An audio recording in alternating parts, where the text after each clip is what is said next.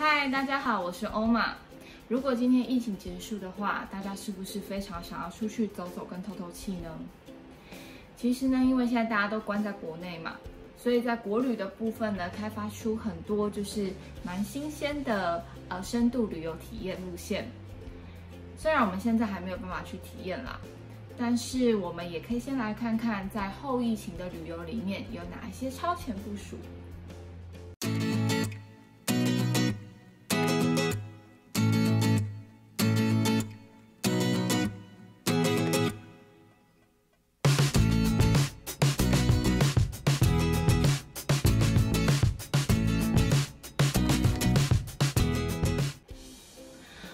呢，动辄三四十人的那种进香团，现在都要走的是精致路线，人越少越好。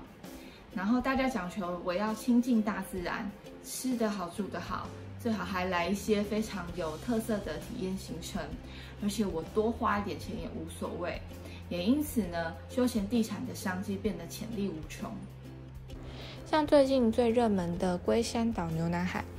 过去大家都是搭乘到龟山岛上晃晃，了不起一个小时就结束，在岛上也顶多就是看看风景而已。到后来新开发出龟山岛周边这片湛蓝中带有乳白，既漂亮又带有一点神秘感的牛奶海，业者将这整趟旅程规划为半日行程，不仅可以玩 SUP 立桨、水上浮标，船上还提供法式自助清点。吃喝玩乐全包含，甚至还延伸出像是海洋派对活动，或与当地旅馆配合规划成两天一夜的行程，费用从五千到一万上下不等，为当地除了冲浪外带来很大的海洋旅游商机。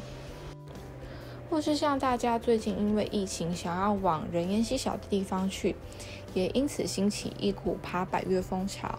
但其实爬百越并没有想象中简单，除了要申请登山证及山屋，最好还要有向导带路。如果没什么经验的话，还要找背工协助登山者背负装备，协作负责在山上煮东西、搭帐篷。因此，这时候有的人可能就会选择商业的登山团，也就是基础的登山装备自己带，其他的都有专人会帮你处理好。这样的商业团从几千到上万的价格都有，端看想要怎么样的服务品质。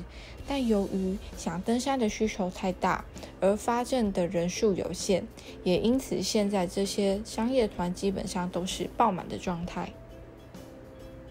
Glamping 更是现代人的懒人经济指标，一个背包即可入住。营地的环境没有最美，只有更美。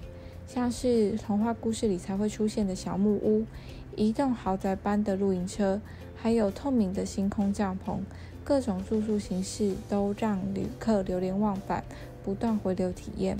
而且通常夯的露营地，除了有大自然的绝佳美景外，重点是活动内容多元且服务又好，可满足像是亲子、文青、乐龄及单车爱好者的客群。现在 glamping 露营地虽然越来越多，但品质不一。很多人仅认为这是门很好赚的生意，就随便买几顶帐篷或者是几台露营车，找个露营地摆放，就自称是 glamping。期待未来有更规模化及系统化的品牌经营，让消费者可以有更好的收入体验。今天看完这期的朋友，是不是都超心动的？想要等疫情结束之后，赶快去体验一下。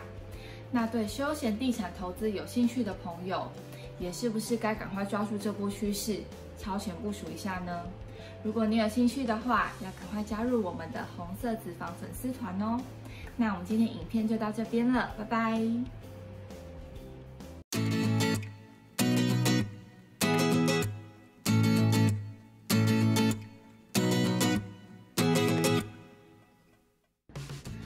这是一个介绍风格地产的频道。如果喜欢相关资讯的你，欢迎赶快帮我们按订阅，还有开启小铃铛，这样子我们就可以将最 stylish 的资讯第一时间分享给你哦。